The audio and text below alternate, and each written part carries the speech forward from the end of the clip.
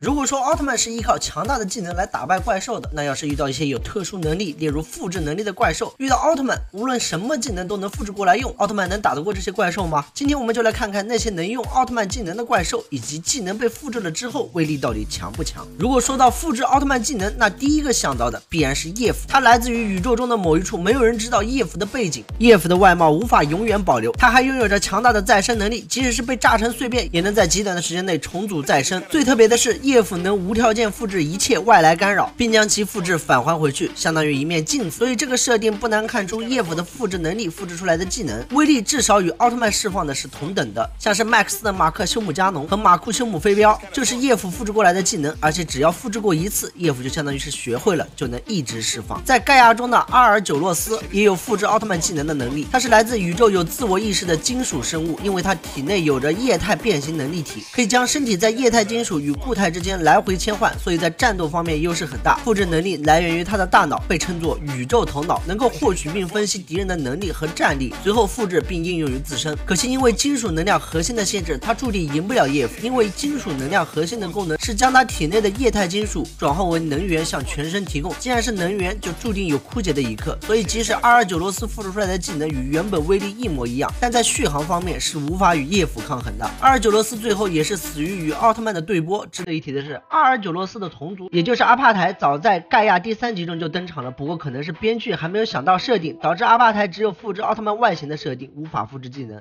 别的怪兽都是靠复制来获取奥特曼技能的，而艾斯杀手是个例外，他不是靠复制才学会奥特曼的技能，而是靠掠夺。艾斯杀手是异次元亚波人对艾斯奥特曼进行全方位的研究之后制造出的最强机器人兵器，全身金黄色的铠甲能无视奥特兄弟的各种光线。在艾斯奥特曼中，他首次登场的时候，用计谋将奥特兄弟钉在了。十字架上，然后使用胸口的能量核心发射光线至奥特兄弟的计时器，强行夺取其中的能量，还夺取了相对应的技能 M 八七、斯派修姆、艾梅利姆等等，连杰克的手镯都夺走了。在设定方面，艾斯杀手吸取了技能之后，能以相同的威力发射出去，而且在实战中也是这样的表现。在梦比优斯 TV 中，他就用相同的技能与小梦的梦比姆射线对波，最后与其抵消了。不难看出来，威力是一模一样的。作为高斯奥特曼整部剧里的最大 BOSS，卡奥斯头部的复制能力，大伙儿是有目共睹的。在前期的剧情中，为了打败这个在自己统治路上的绊脚石，卡奥斯头部决定要得到对方的能力，因此追击了春野武藏。但武藏有高斯保护，卡奥斯只好不断的折磨武藏，逼得高斯不得不让武藏变身。卡奥斯就趁机附身在高斯身上，成功复制了高斯日冕模式的能力。从连三分钟实现都复制出了这点，不难看出卡奥斯的复制是百分之百复制的。也就是说，对于高斯的技能威力，两者也是相同的。第一次就是因为时间限制的问题败在了高斯手中，第二次终于克制了时间限制，结果他只能开。日冕打不过日食形态的高斯，再度失败了。戴拿奥特曼中，古雷格二人也能释放奥特曼技能，主要是通过他体内机械核心的作用。古雷格二人能改变身体的细胞，将身体外形拟态变成地球人的外貌，然后模仿戴拿变身，成为假戴拿奥特曼，甚至能模仿戴拿及其形态之间的切换。不过只是皮套的变化，假戴拿并不会因为形态的变化而变化自己的能力，使用的技能也只有他自己拥有的。所以古雷格尔是空有其表的代名词，通过自己调整来达到威力与奥特曼的技能一样。希伯利特星人。在众多的观众眼里是阴险残暴的代表词，